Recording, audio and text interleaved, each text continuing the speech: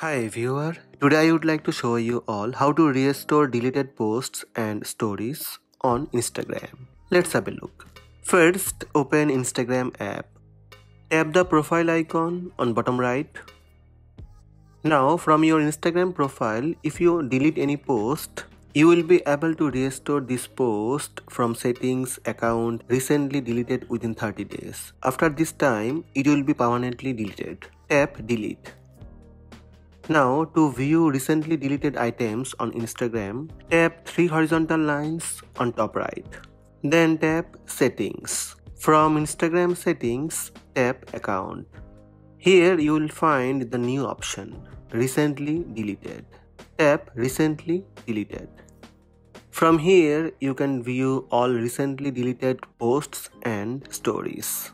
Only you can see these posts, they will be permanently deleted after the number of days shown. After that, you would not be able to restore them. You can view recently deleted posts and recently deleted stories.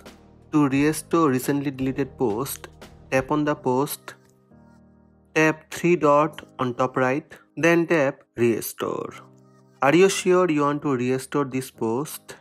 Tap restore one more time. That's it, post restored. Similarly, you can restore other deleted posts. To restore stories, go to story section. Then tap more on bottom right and tap restore. That's it, post and stories restored. So these are the steps to get back deleted posts and stories on Instagram. Hope this video help you. Please subscribe my channel by tap subscribe button. Also tap the bell icon to receive notifications about all new videos.